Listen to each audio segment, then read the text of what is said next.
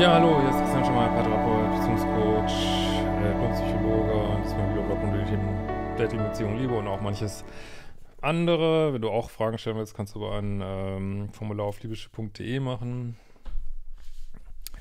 Äh, schau auch gerne mal rein in mein neues Buch. Ich weiß, es ist nicht mein einfachstes Buch, aber äh, ich finde es ich find's richtig gut.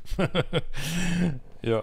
Also, und äh, weil ich finde es auch gut, weil ich immer das Gefühl habe, frage mich immer, wer hat das geschrieben, ey? Das ist so, ähm, keine Ahnung, ist mir so aus der Feder geflossen, soll sich jetzt nicht, ähm, nicht irgendwie überheblich anhören. Äh, sorry, wenn das so rüberkommt, aber äh, ja, ich, ich, wenn ich das Buch lese, übrigens in Berlin gibt es auch noch Tickets am 4. Juni.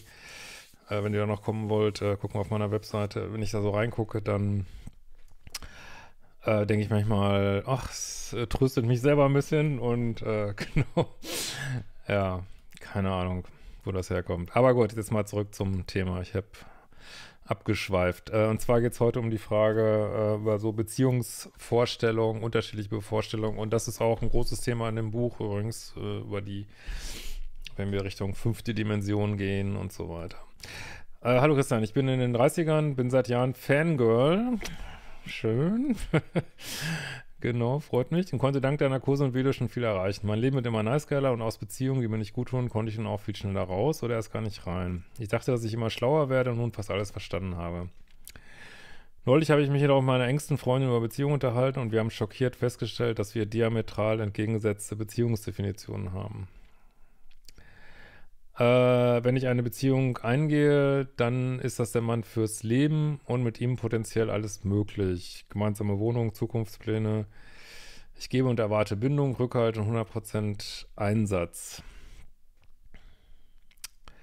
Äh, für sie dagegen hat man vielleicht ein paar schöne Monate oder gegebenenfalls Jahre. Jeder macht so sein Ding und es ist was Lockeres, aber auf jeden Fall zeitlich begrenzt.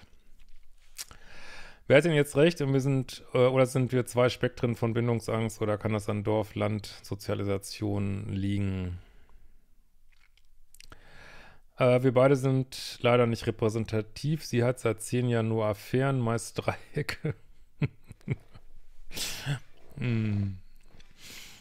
Und ich führe Beziehungen mit nicht verfügbaren Partnern. okay, ich äh, verstehe, worauf du hinaus willst. Ähm, ich unterstelle ihr niemals geliebt zu haben.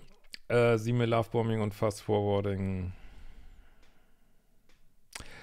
Äh, was kann man also von einer Beziehung, romantische Liebesbeziehung erwarten? Hilft doch mal deinen Zuschauern bei den absoluten Basics auf die Sprünge.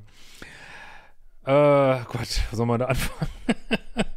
also erstmal, äh, darum geht es ja auch in meinem Buch, was sind 3D-Beziehungen, was sind 5D-Beziehungen, also äh, sozusagen geheime Dreiecke äh, sind auf jeden Fall 3D-Beziehungen, kann ich auf jeden Fall sagen.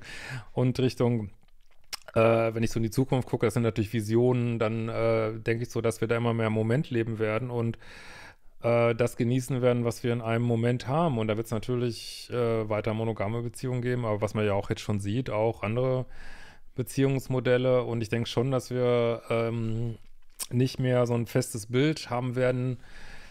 Äh, das muss jetzt immer alles bis, äh, bis ans ähm, Sterbebett gehen, weil das sind auch tatsächlich Vorstellungen der Gesellschaft so, ne? Und ähm, ich finde tatsächlich, dass man sagt, das muss so sein, finde ich tatsächlich auch eine Einschränkung, anstatt zu sagen, hey, wir genießen, wir entscheiden uns auf eine Art jeden Tag äh, neu für eine Beziehung, da kann man trotzdem total committed sein und äh, ja, also aber so, so, eine innere Freiheit haben von so einer Leichtigkeit, äh, die sollte es auch in Monogambeziehungen geben. Und ähm, das habe ich auch in meinem Buch geschrieben. Dazu gehört auch, dass die lebenslang dauern können, aber oder auch kurz. Und das ist alles okay, so, ne?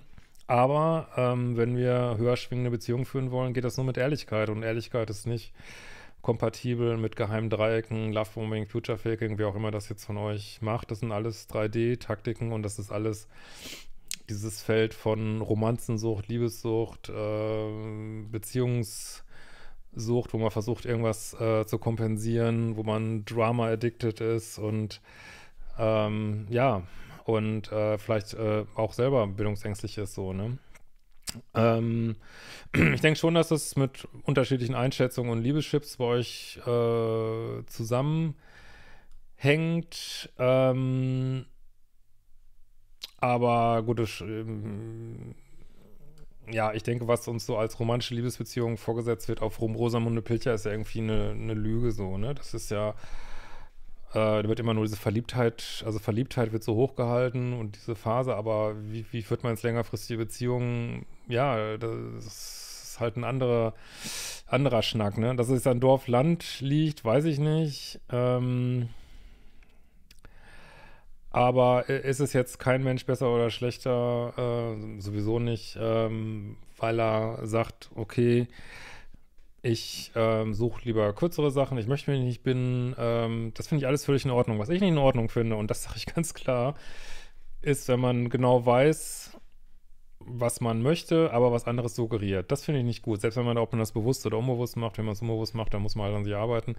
Also ich kann durchaus hingehen und kann sagen, ich möchte nur was Lockeres, ich möchte nur ähm, Affären im Sinne von keine festen Bindungen, aber ich finde es nicht in Ordnung oder, tox oder äh, toxischer Brunnen, sage ich mal, ähm, wenn ich in bestehende Beziehungen mich reinbringe, äh, äh, Affären führe, äh, ja, lüge, nicht ehrlich bin, äh, Sachen vorgebe, die gar nicht stimmen, das finde ich, das ist nicht, wofür ich stehe. Das nicht, dass ich das, also nicht, dass sie denkt, ich kriege zu jedem Zeitpunkt meines Lebens das hin, überhaupt nicht. Das sind natürlich hehre Ziele und Menschen machen Fehler, aber das sollte doch aus meiner Sicht der Kompass sein, so, ne? Und ähm, und wenn sie, ja, das, und zu dir, klar, wenn du immer bindungsvermeidende Menschen suchst, dann musst du halt gucken, äh, ja, also auch wenn du bestimmte, passen deine Träume, die du hast,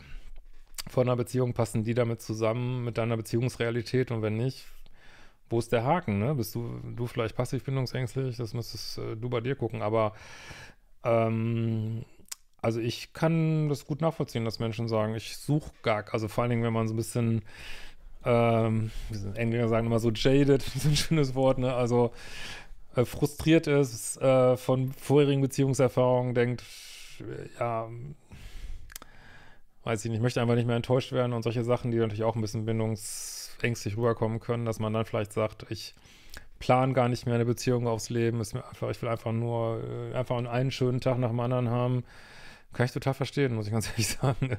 Hoffe, konnte deine Frage beantworten. Mach die fucking Kurse. Vielleicht sehen wir uns bei der Lesung am 4. Juni. Und ähm, wir sehen uns bald wieder.